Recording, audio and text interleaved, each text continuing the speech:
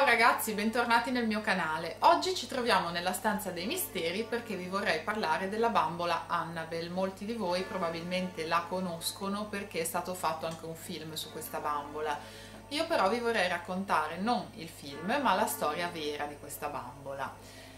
Stata eh, ricevuta in regalo da una studentessa di infermieristica che si chiamava Donna, questo nel 1970 e l'ha ricevuta in regalo dalla madre che appunto in occasione del suo ventottesimo compleanno aveva pensato di regalarle questa bambola che a sua volta aveva acquistato in un negozio di bambole usate. La ragazza condivideva la stanza con una sua compagna di studi, la quale si accorse che la bambola aveva qualcosa di strano. Infatti si accorsero in breve tempo che non la ritrovavano mai nella posizione in cui l'avevano lasciata la trovavano magari con le gambe incrociate, la trovavano con le braccia incrociate.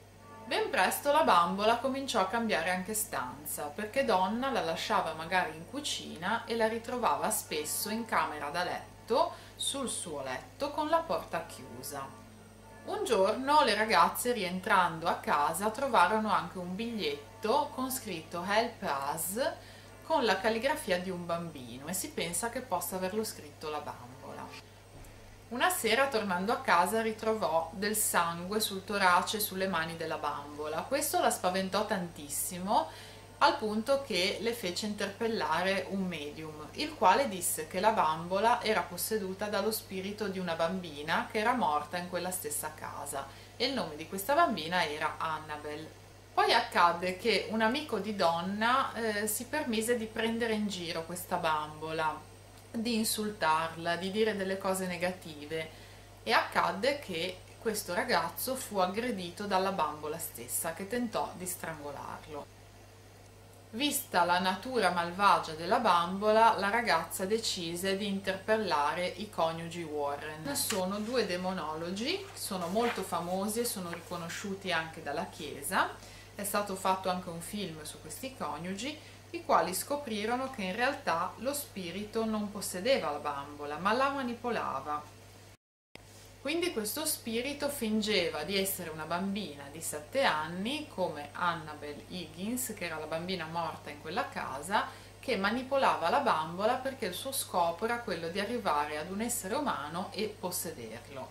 I Warren esorcizzarono l'appartamento e presero la bambola con sé e anche quando la portarono a casa si accorsero che questa bambola aveva dei comportamenti strani, l'avevano vista levitare, spesso cambiava stanza, quindi in qualche modo ehm, si accorsero che effettivamente la bambola era infestata. Attualmente la bambola è custodita nel Museo dell'Occulto che è nel retro della casa dei coniugi Warren.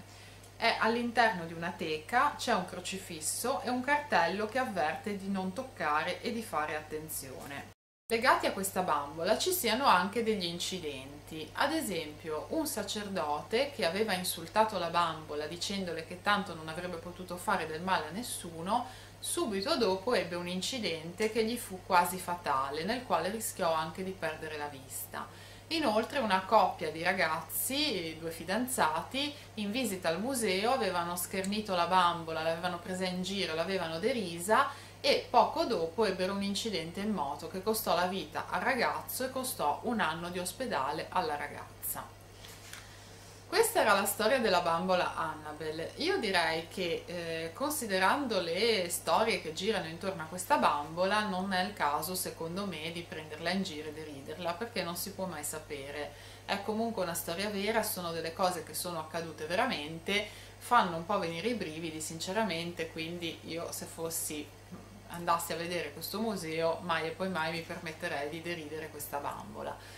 Aggiungo però che io in questo museo credo che non ci andrò mai perché sinceramente andare in un luogo pieno di oggetti infestati mi fa abbastanza senso.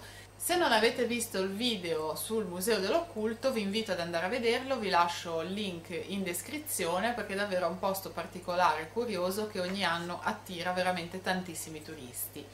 Mi fermo per oggi, vi mando un abbraccio gigantesco, ci vediamo al prossimo video, un bacio a tutti, buona serata!